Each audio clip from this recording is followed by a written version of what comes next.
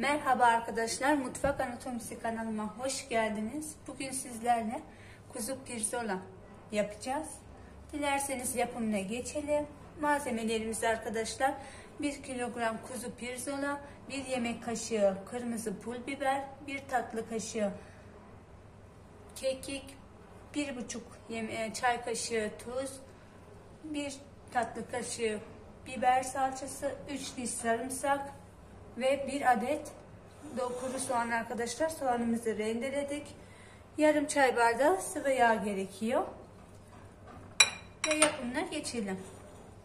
Şöyle bir kabın içerisine soğanımızı alalım. Sarımsaklarımızı ilave edelim. Baharatlarımızın hepsini ekleyelim arkadaşlar.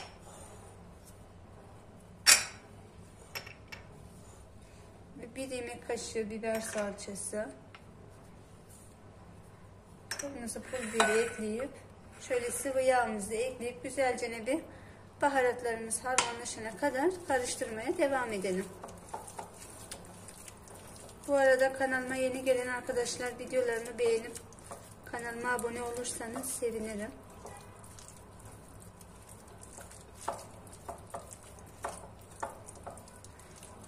Arkadaşlar ilk önce etimizi marine etmemiz gerekiyor. Marine ettikten sonra yaklaşık bir iki saat dolapta dinlendirmemiz gerekiyor. Şöyle sosumuz iyice oldu. Sosumuzun kıvamı gayet güzel ve etlerimizi ekleyelim.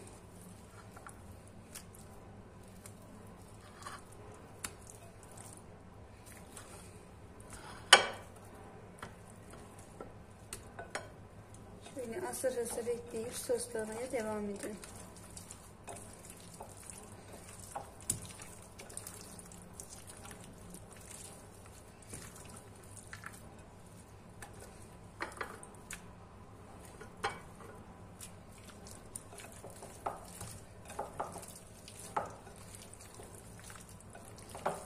Bir güzel etimizi marine edelim.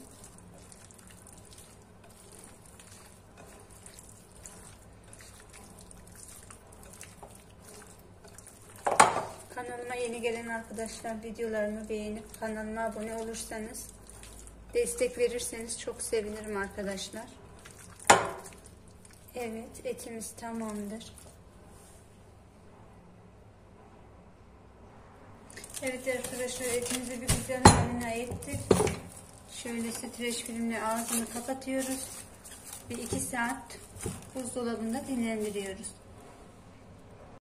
Evet arkadaşlar etimizi dolaptan çıkardım. Şöyle bir güzel tepsimize dizelim.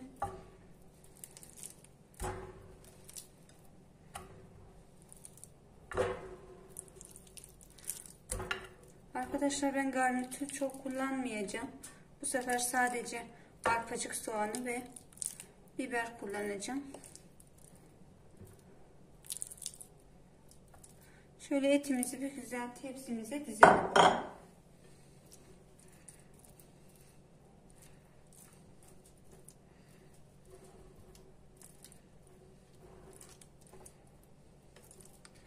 Ve arpacık soğanlarımızı kalan harcımızın içine bırakıp soslayalım. Şöyle etimiz tamamdır. Şu soğanlarımızı da sosun içine ekleyelim arkadaşlar. Şöyle bir güzel karıştıralım.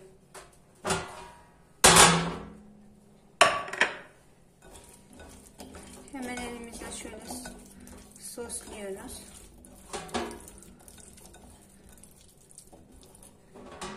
Ve şu sosu da yemeğimizin üzerine ekleyelim. Soğanlarımızı şöyle bir güzel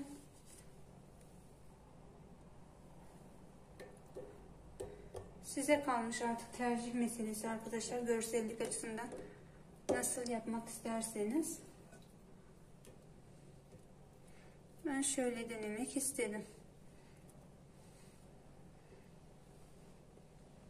Kalan sosumuzu da yemeğimizin üzerine ekleyelim. Etimizin üzerine. Ve biber biberlerimizi ilave edelim.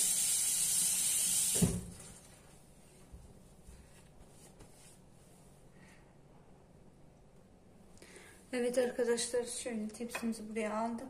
Üzerine biberlerimizi ekleyelim. Şöyle gelişi güzel şekillendirelim.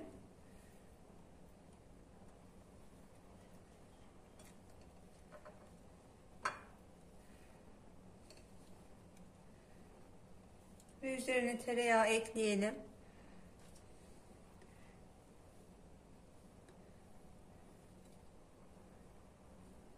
Tereyağı bayağı bir güzel olacaktır arkadaşlar. Tadını bayağı güzel yapacaktır. Şöyle biberlerimizi şu kenarlarını da kapatacak şekilde düzeltelim. Bu arada kanalıma yeni gelen arkadaşlar videolarımı beğenip kanalıma abone olursanız sevinirim arkadaşlar. Evet arkadaşlar tepsimiz hazır. Önceden ısıtmış olduğumuz 170 derece fırına yaklaşık bir 50 dakika arkadaşlar pişirmemiz gerekiyor. Yalnız bunu da dile getireyim fırından fırına değişiyor arkadaşlar bilginiz olsun. Ve şöyle pişirme kağıdımızı bir güzel yıkadım. Tepsimizin üzerine bırakalım. Arkadaşlar bir 40 dakika böyle pişecek. 40 dakikadan sonra pişirme kağıdını tepsinin üzerinden alın ve yaklaşık bir 15-20 dakika daha e, pişirme kağıtsız pişirin. Yemeğimiz hazır olacaktır. Ve fırına atalım. Evet arkadaşlar yemeğimiz pişti. Şöyle sizlerle göstereyim. Bir sonraki videomda görüşmek üzere. Kendinize iyi bakın. Arkadaşlar şunu da dile getireyim. Ben pişirme kağıdını kaldırmadım. E, çıtır olmasını isteyenler hani bir son 15 dakika kala kaldırabilirler. Benim için bu kıvamda pişmesi gayet yeterli olacaktır. Kendinize iyi bakın. Bir sonraki videomda görüşmek üzere. Hoşçakalın.